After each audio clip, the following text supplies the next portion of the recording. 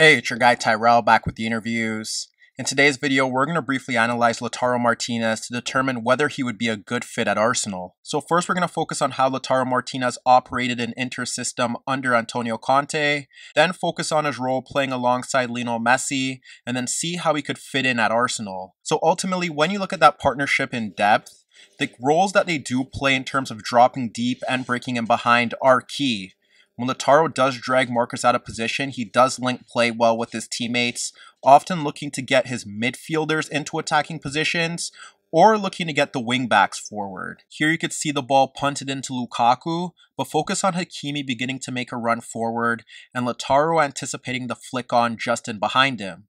Lukaku drags out the center back, and Lautaro receives the ball at the halfway line, dragging out another center back, and he identifies Hakimi making a run from his own half in behind. Rather than playing a short pass towards the right wing back, he looks to lob the ball over two Verona players to place Hakimi free down the right channel, and when he clips the ball into that zone, it places the right wing back in a 1v1. Here you can see Barella looking to play a forward pass into Lautaro, dropping into his own half, and when Barella plays that pass into Lautaro, he's unmarked in that area, and he locates the run of Hakimi breaking in towards the Roma half towards the halfway circle.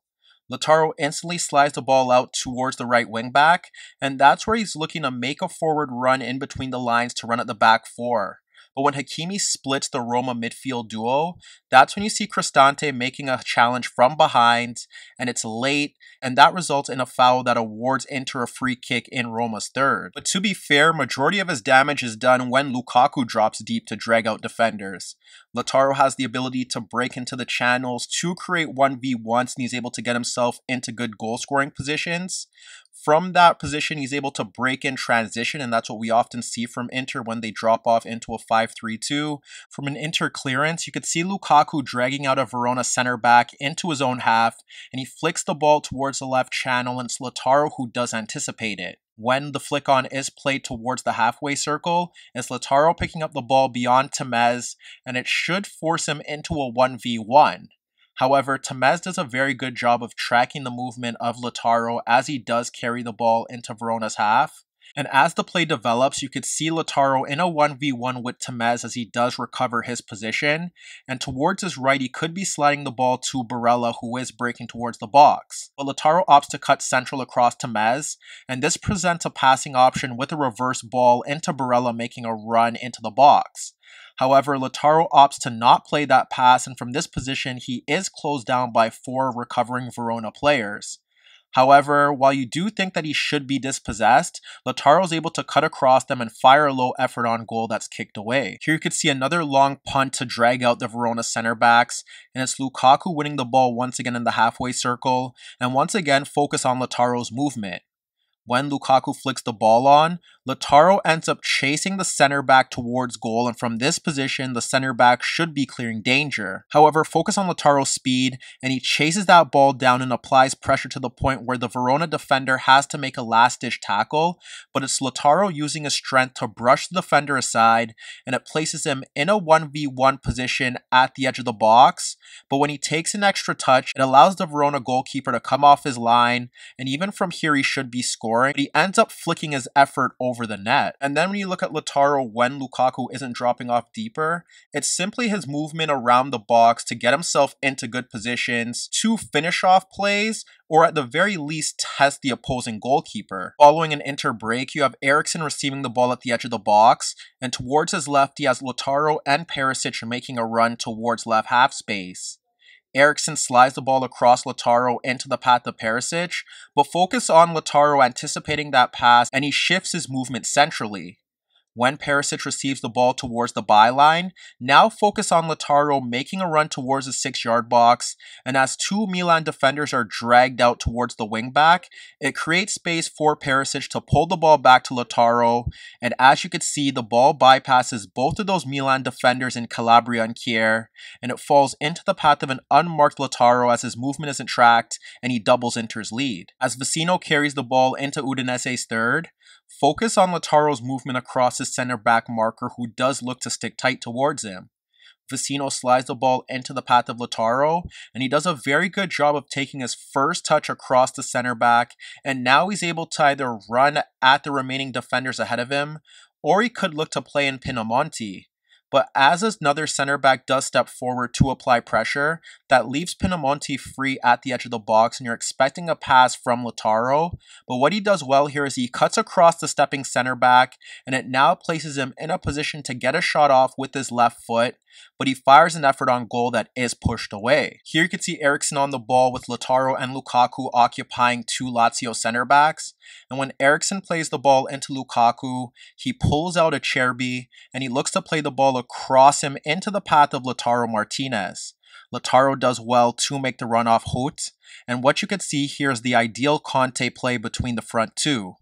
Lukaku pokes the ball into the path of Lautaro, and this should play him in a 1v1 position where he should be scoring. However, as he breaks into left half space, Hoedt tracks his movement and he ends up making a last ditch tackle that takes out Lautaro and concedes a penalty that Lukaku eventually does convert. The other key component to Lautaro dropping off deeper is that he's able to retain possession, hold off the opposing defender that's applying pressure, and win fouls in his own third to help his side push up the pitch, or when he's able to evade the challenge and break forward to win a foul in the opposing side's third. From a defensive aspect, Lautaro is integral to Inter and Argentina's pressing from the front, and he is capable of forcing the opposing defenders into mistakes. And when his side drops off into a 5 3 2 or two banks of four, his willingness to track back to apply pressure to the opposing midfielders does help him win possession for his teammates. And then you could look to a time against Crotone where you have Inter dropped off in their 5 3 2,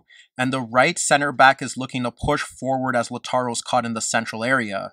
When the ball is shifted out towards him, that's where you see Lautaro shifting over to provide cover, and now you can see the position that he should be in when that right center back pushes forward. But as he carries the ball in towards that zone to deliver a cross into the box, it's Lautaro from a close up that slides in to block the cross, and it ends up halting the attack of Crotone and Inter able to regain possession. If you look to this example, you have Barella ahead of Rabiot looking to poke the ball into the path of Lautaro, dropping into his own half to drag out De Ligt.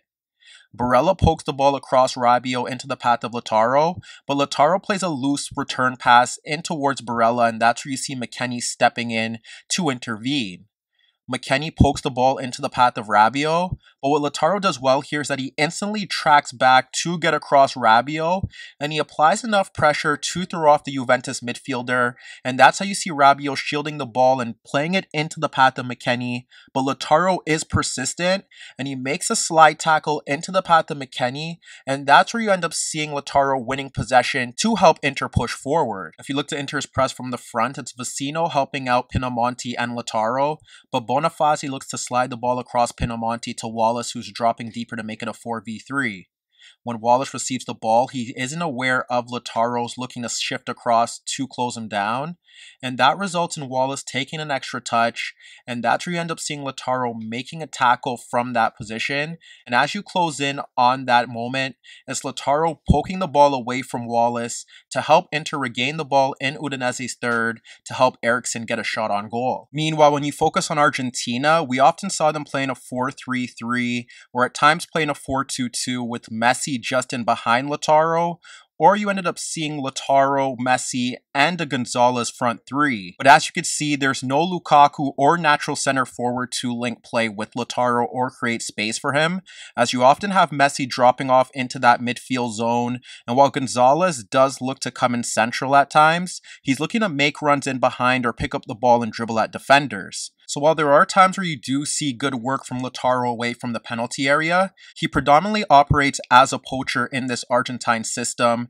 as he mainly waits for service from Messi, but still his movement around the box is still vital as it allows him to get himself into legitimate goal scoring positions. And he's a willing runner in behind for long balls over the top, and that also presents a threat to the opposition. If you look to another example, it's Pezzella carrying the ball towards the halfway line with no pressure applied by the Ecuadorian midfield and he locates Lautaro's movement in behind. As Pezzella plays a long ball over the top, you could see Lautaro spinning off the center back, and from this position, he needs to bring the ball down with his first touch to carry it towards goal, and that could present a legitimate goal scoring position.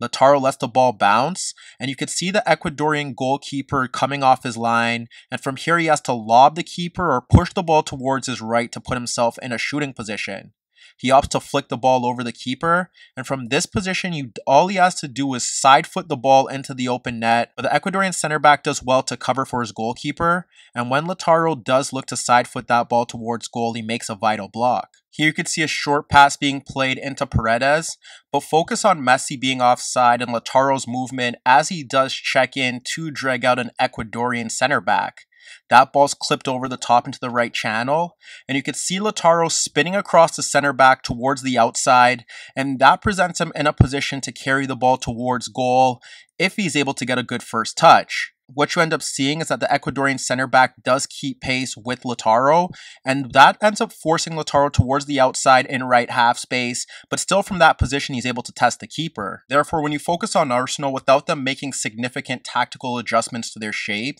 if they do persist with this 3 2 5 in possession, if you want to get the best out of Lautaro, perhaps you need Lacazette playing in just behind him to drag defenders out of position so that he can make runs in behind.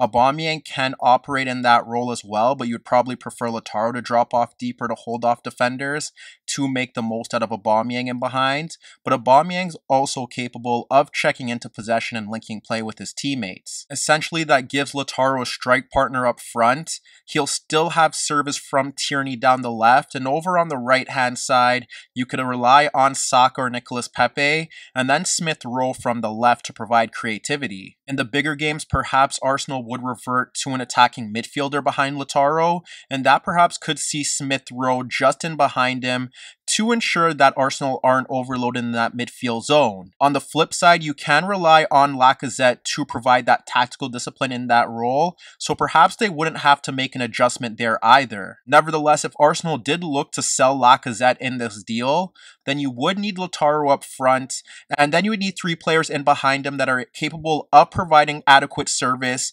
while Tierney would serve as an additional creative outlet from the left hand side. So, as you can see, Lautaro Martinez is a hardworking poacher with all round abilities that simply aren't utilized on a consistent basis for club and country. But if you provide him with a reliable strike partner or multiple creative outlets in the final third, the Argentine is more than capable of succeeding